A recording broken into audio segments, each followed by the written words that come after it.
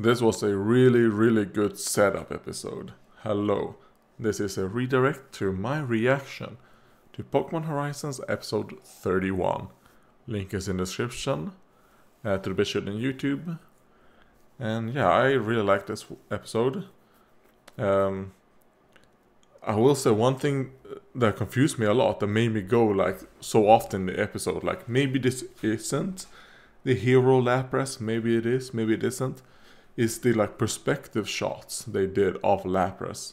But then at the end of the episode, I kind of went like, oh, okay, I know for certain now that it is the hero Lapras because of just how big it is. Uh, and like, I like the scars on it. Uh, it was interesting seeing that the Wailord also had a bunch of scars. Like the Wailord and the Lapras. Um, and I guess you could argue, uh, well, maybe they've been like they've been alive for a long time, you know.